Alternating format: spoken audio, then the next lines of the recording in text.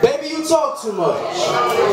You got more words in you than an 900 page essay, and to be perfectly honest with you, the sound of your voice brings my eardrums to tears. And imagine, dealing with that for like 10 years. See, sometimes when you're talking, I see your lips moving, but the sound is drowned out a long time ago. So that's why when you ask me questions like, so what do you think about that?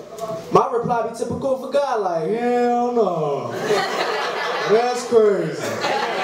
Could you repeat that last part again? And it's not because I couldn't hear you, it's just because I wasn't listening. You want to know why? Why? Because you talk too much.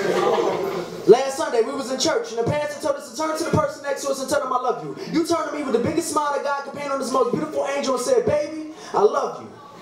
And I thought that'd be it, but your ass don't quit. You kept going on about how you love me, but when I leave the toilet seat up, and how I turn the heat up, and I just want to get my seat up, and somebody really cared about what you was talking about. You want to know why? Why? Because you talk too much.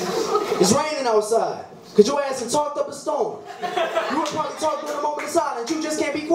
quiet. If they had a shut up hill, you wouldn't try it. Can't listen to music because you talk through the song every time you leave a voicemail. It's 20 minutes long. You even talk when we drive. And I'm so glad we got Faye Fox for that phone bill sky high. And you want to know why? Why? Because you talk too much.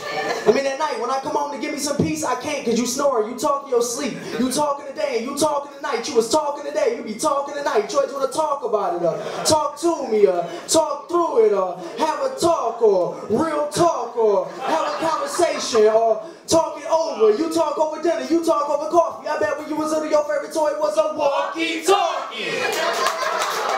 You want to know why I think that? Why? Because you talk too much. The proof is in the pudding. You watch talk shows. You listen to talk radio. Your favorite song is Can We Talk by Tevin Campbell. Come and Talk to Me by Jodeci. Your favorite, conversation piece. Your favorite movie is Look Who's Talking. Look Who's Talking Too. Chris Tucker and Money Talks. Don Cheadle and Talk to Me. You always trying to talk to me. Even though I feel like talking, you just want to talk and talk and talk and fucking talk. However, Whenever I feel like I can't take it anymore, it's those pep talks you give me that bring me back to reality.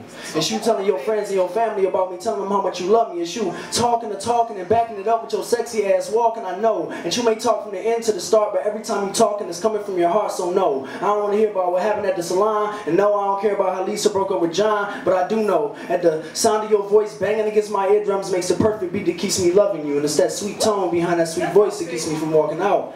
Baby, that right there is exactly what I'm talking about.